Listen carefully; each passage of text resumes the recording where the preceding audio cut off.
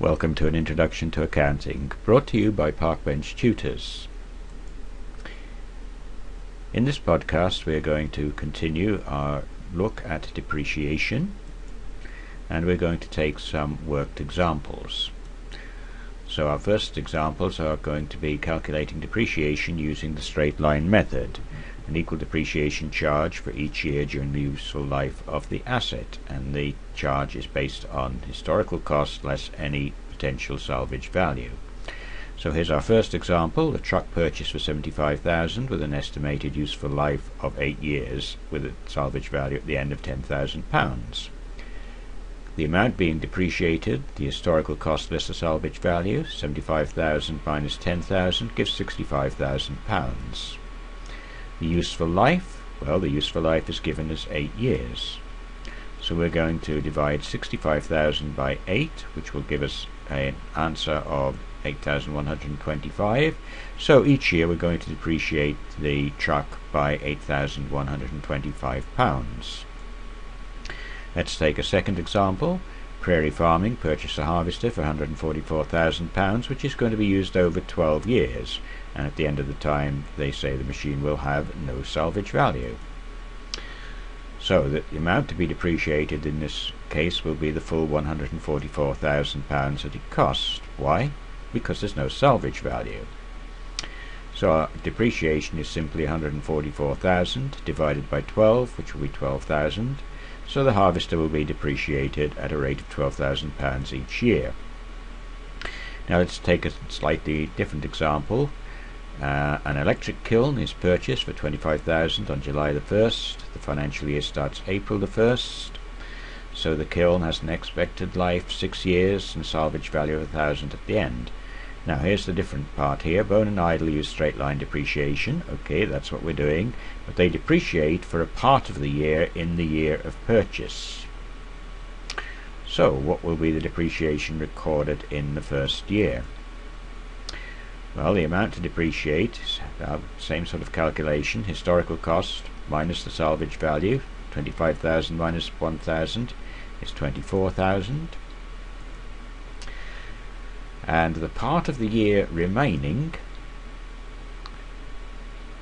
is 9 months. So we are going to depreciate at a rate of 9 twelfths of 4,000. Remember, it was 25,000 pounds cost 1000 salvage value so it was 24,000 so for each of the six years it would be 4,000 so the depreciation was 4,000 a year and we're taking 9 twelfths of that which will be 3,000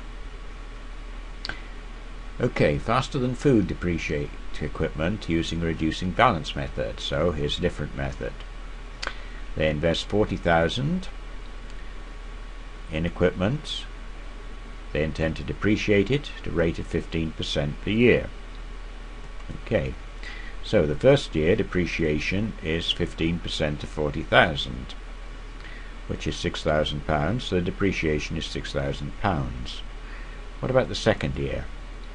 Now, we've already depreciated for £6,000, so we've got 34,000 left, so we're only going to take the 15% as 15% of 34,000, which comes to 5,100. So at the end of year 2, depreciation is 5,100.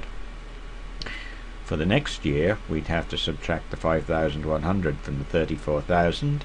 That would give us 28,900. So in year 3, we are depreciating by taking 15% of 28,900 which gives us a depreciation of 4,335.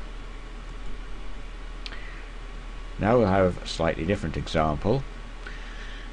An electric company purchases 10 windmills for 250,000 and their production is in megawatts and they expect to have an output of 30,000 megawatts in the first year, 30,000 in the second, 25,000 in the third, 25,000 in the fourth and they expect to sell the windmills for 100,000. They're going to depreciate on the basis of the units of production, in other words, on their megawatts produced. So first of all, the amount to depreciate, 250,000 minus 100,000, the amount is 150,000 pounds. the total units of production 30,000 plus 30,000 plus 25,000 plus 25,000 that's 110,000 megawatts. So 110,000 will be our total units of production. So in the first year the depreciation will be 150,000 times 30,000 divided by 11,000 which comes to 40,909 pounds since the production in year 2 is estimated as 30,000 megawatts, the depreciation in year 2 will be the same. In year 3, the calculation will refer to 25,000 megawatts, so the depreciation will be 150,000 times 25,000 divided by 110,000, which is 34,090. So the depreciation in year 3, 34,090, and that depreciation will be exactly the same as in year 4. So there we are, three different methods, straight line, reducing balance, and units of production. Three different ways of calculating depreciation. That ends our podcast on methods of depreciation, brought to you by Parkbench Tutors, narrated by David Hopcroft. Thank you for watching and for listening.